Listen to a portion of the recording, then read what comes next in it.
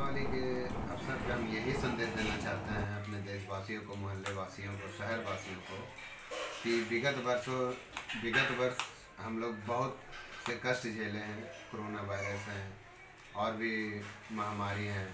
तो इस बार हम लोग यही सोचे हैं कि पटाखे नहीं जलाना है, पटाखे जलाने से इन्वायरमेंट पॉल्यूट होती है।